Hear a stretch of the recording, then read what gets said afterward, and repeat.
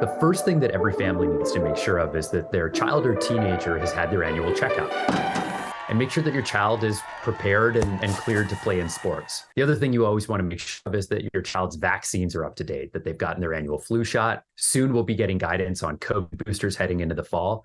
Number two, making sure kids are ready for the back to school transition. So, especially for younger kids, you want to show them the school that they're going to be going to if they've never seen it before.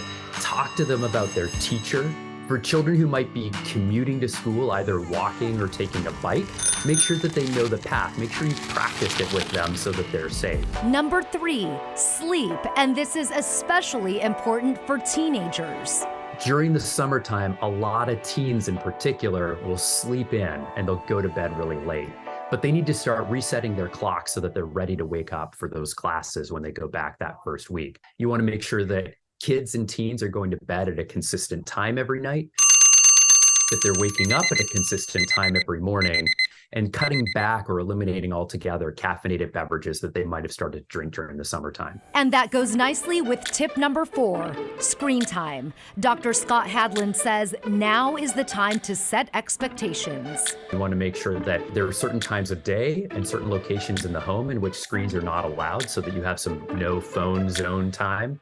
And make sure that phones are ideally out of the bedroom, particularly at bedtime. And finally, a tough one. Talking about bullying. It's important that you talk to your teen and child about how to respond to a bully if they encounter one. They need to use firm language, let people know that it's not okay to bully, and that's including when they themselves are being bullied or if they see someone else being bullied, and that they should always report to a grown up what's going on. Yeah, very important stuff there. But back to limiting screen time for a minute. Dr. Hadland says uh, that charging all those devices in a central location at night out of the bedrooms is important so that the kids aren't distracted and picking them up when they should be sleeping. And yes, that goes for you too, mom and dad.